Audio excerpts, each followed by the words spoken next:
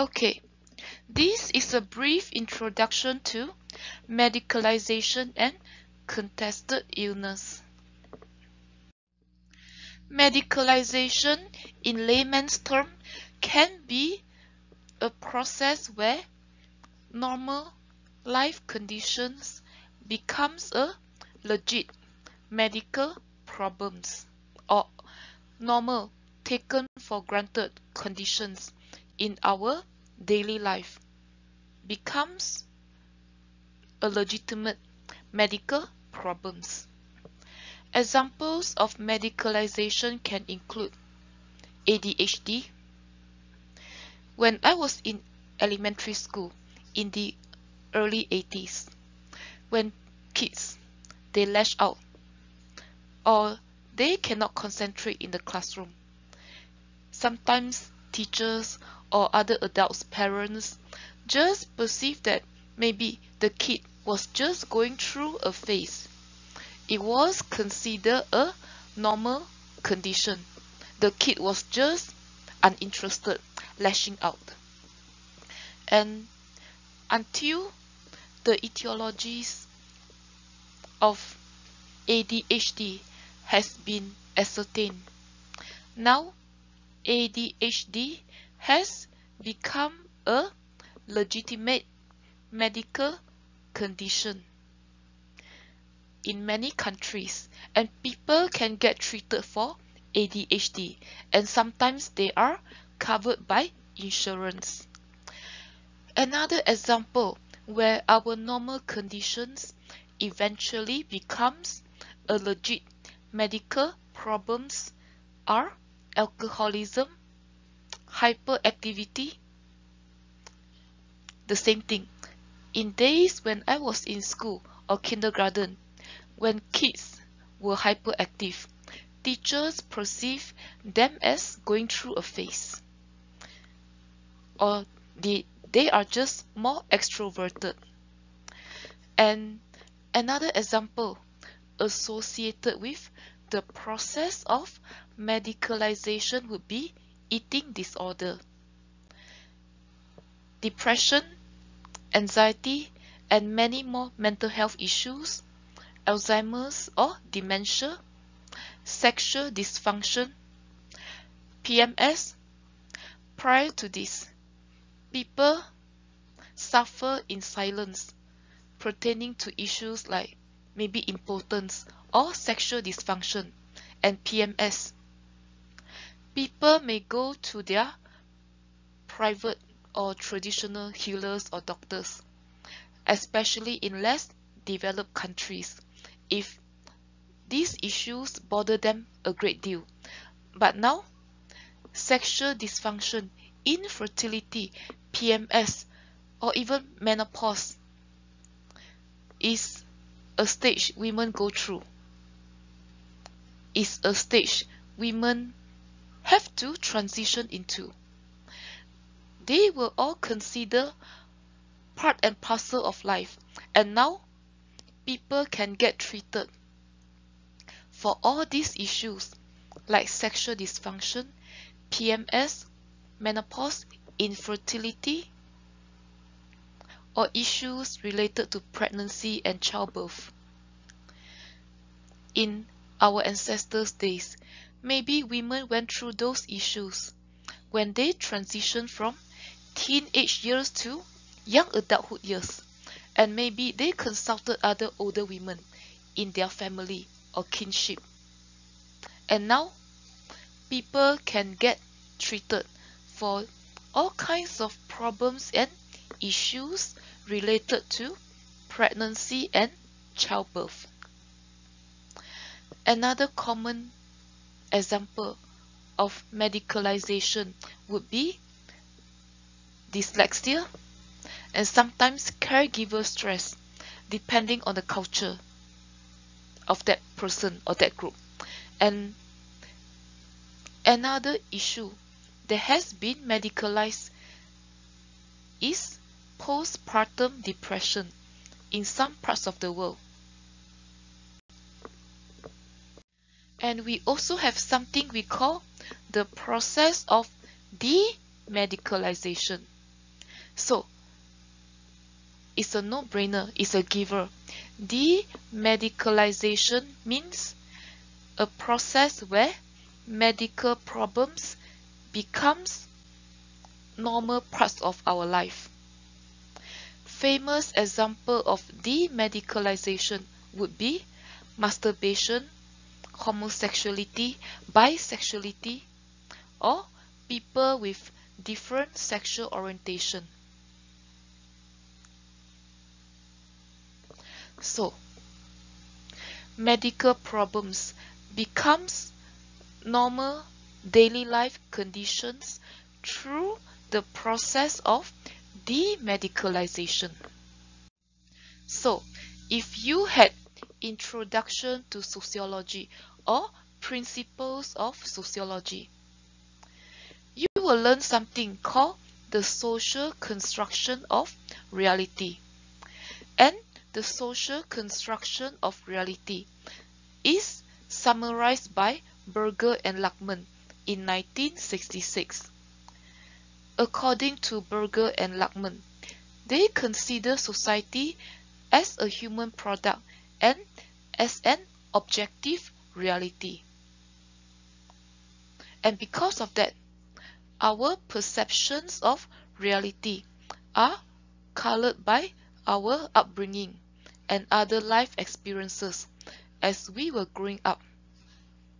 In other words, our perceptions of reality depends on how we are being raised and what we were raised to believe. For instance, people from different cultures and countries have different perceptions about the Cold War and 9-11. Right. And technically, we cannot really say which opinions are more correct or more accurate and which opinions are wrong. So that's the essence of the social construction of reality. The social construction of illness is an extension from the social construction of reality. As such, the social construction of illness says that our perception of illness is shaped by the existing social forces as well as the culture and social system. Therefore, even though illness is not merely a biological phenomenon that occurs naturally and consequences are independent from any biological effects, people perceive and give different meanings to illnesses and diseases depending on their culture and social backgrounds. When it comes to illness and disease, this perception is going to affect how we enact our own illness and endow it with meaning in the context of our social and personal relationships. The social construction of illness views illness and disease as a social problem that is created by the purposive actions of individuals. This experience is going to affect how we perceive those who are sick. Some view it as a form of deviance, while others, like medical professionals, policy makers, law enforcement personnel, and so on, view it as a form of social control.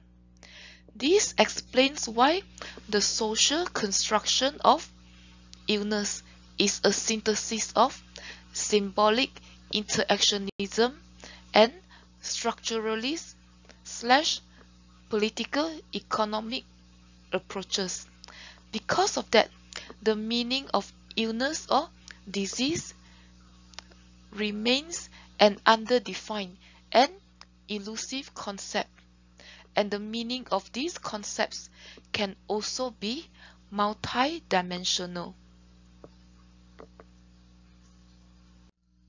This video, which is available on YouTube or Canvas, will tell you how and why different illnesses like Alzheimer's disease, postpartum depression, diabetes, and so on and so forth are socially constructed.